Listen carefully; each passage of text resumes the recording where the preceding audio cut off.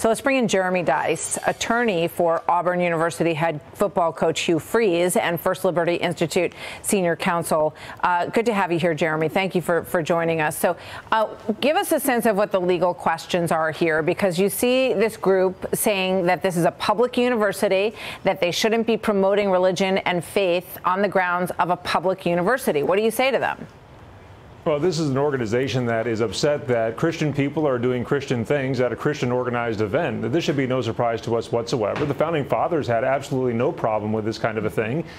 And the Supreme Court has recently reaffirmed that this is perfectly acceptable, that coaches like uh, Coach Freeze and all the other coaches involved here, they don't have to shed their constitutional rights when they walk through the schoolhouse gates they can actually be people of faith. And unless and until this organization comes to us with some something resembling proof that this has been coercive or forcing people to bow down mm. in a way that they don't want to do so, then they need to go back and read the First Amendment that guarantees the free exercise of religion. In other words, to borrow from Justice Gorsuch, this organization, in the name of religious liberty, is trying to use religious liberty to censor religious hmm. liberty. We're not going to stand for that kind of thing any longer in this country. Um, let, us play some of the crowd singing at this baptism so people get a sense of what this moment was like.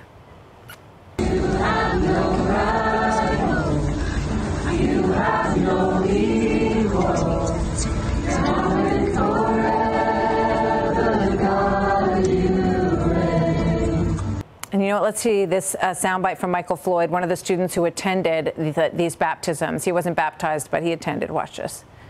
It lets people know that college students are unapologetic about their worship and seeking Christ, and that you know that uh, we're rising up to take a stand for the kingdom of God and to see that hey, it's time to be about our Father's business.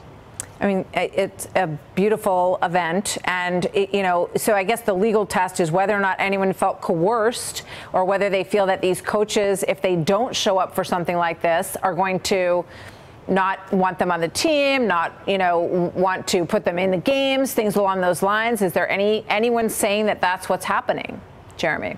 No, there's no proof of that. And it has to be actual coercion and not these feelings of coercion that maybe they saw religion in public and got scared as if it's some sort of disease that's going to infect them. No, they actually have to bring evidence that they are being coerced in some way. That's not the case here. Look, if the founding fathers landed in 2023 America today and saw the amount of suppression in the name of religious freedom that this group and others is trying to force upon us, they would be shocked and concerned. The reality is this we have more religious freedom in our country today than we have had in decades. And so, for Coach Freeze, for these students on campus, for coaches and students across the country, let me just speak to them bluntly. You have uh, the maximum amount of religious freedom that you've ever had in this country.